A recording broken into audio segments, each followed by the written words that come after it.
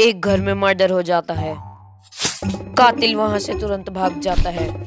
Detective Mehul वहाँ तुरंत पहुँच जाता है। डिटेक्टिव मेहुल को चार लोगों पे शक होता है। डिटेक्टिव मेहुल उन्हें देखते ही पहचान जाता है कि हत्या किसने की है। क्या आप बता सकते हो बूस्ट आर्मी की मेहुल को ये कैसे पता चला कि कौन हत्यारा है? सोचिए बूस्ट आर्मी, सोचिए।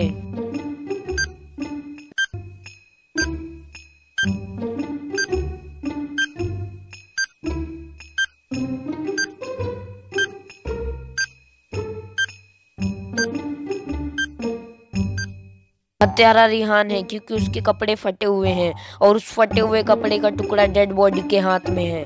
यानी कि हत्यारा रिहान है। अगर आपका भी जवाब यही था तो लाइक करके बताएँ। चलिए अगली पहली देखते हैं। एक जंगल के बीचों बीच एक बहुत डरावना घर था। वहाँ पर कोई भी नहीं जाना चाहता था। एक दिन चार दोस्तों ने वहाँ जाने का फैसला किया। तभी वहाँ भेड़ियों की आवाज़ आने लगती है।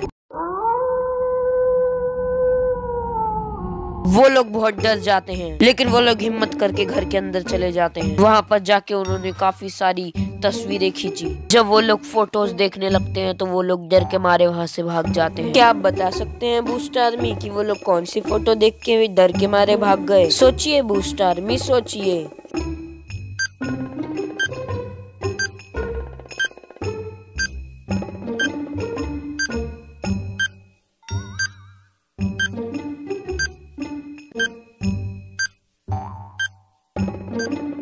वो लोग चौथी फ़ोटो को देख के वहाँ से भाग गए।